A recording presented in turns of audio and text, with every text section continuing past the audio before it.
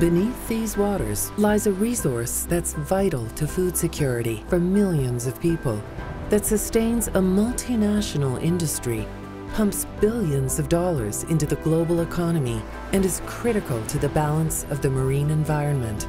So much at risk, so much to protect, so much at stake.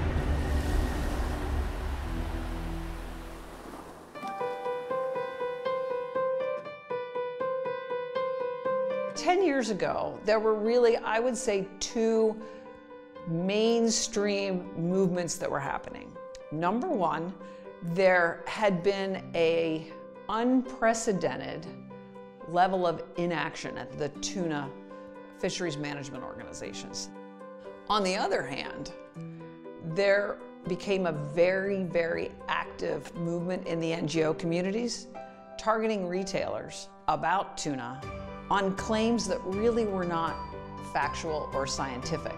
So there was this need to help tunas be managed better, and at the same time, to get the science back in the conversation and make sure that the solutions that we were that were being put into place would actually do what needed to be done. The benefit and importance of ISSF is that it works collaboratively across science, across industry, across conservation groups, and brings that strong foundation to the intergovernmental groups that manage fisheries. The, the fact that all of us around the table could agree to work together in a positive direction, that was something new.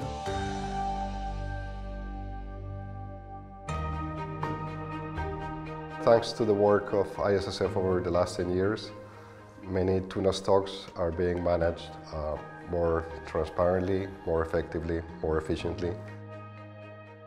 Since 2009, ISSF has reached over 2,000 fishers via workshops that identify and share bycatch reducing practices, mobilized many millions of dollars in investment in scientific research across the world's tuna fisheries, embarked on more than 20 research cruises and other at-sea studies that have revealed techniques for cutting bycatch rates significantly boosted transparency by listing more than 75% of the world's large purse seine vessels on a proactive vessel register, enlisted monitoring, control, and surveillance measures in the fight against illegal, unreported, and unregulated fishing.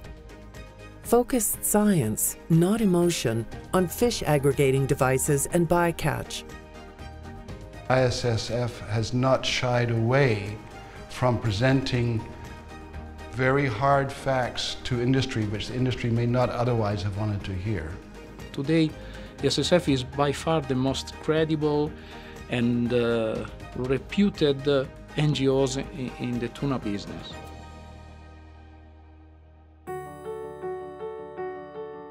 We've done more for tuna conservation in the last decade than all the rest, uh, all the rest combined, uh, because of this great partnership between progressive tuna companies that see the need for sustainability for them to persist into the future.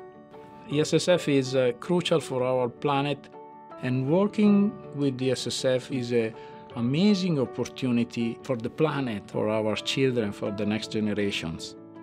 What we want to leave behind is uh, um, the enthusiasm, the, the desire to, um, uh, to preserve sustainability and to preserve biodiversity, especially in the, in the high seas. It's our responsibility as, as scientists to pass the baton to the new generation.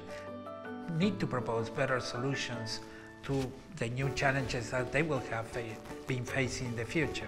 The biggest challenge is, is sticking to it long enough that you can confirm scientifically that what you've done is the right, the right thing and ISSF is up to it and its track record is its biggest asset.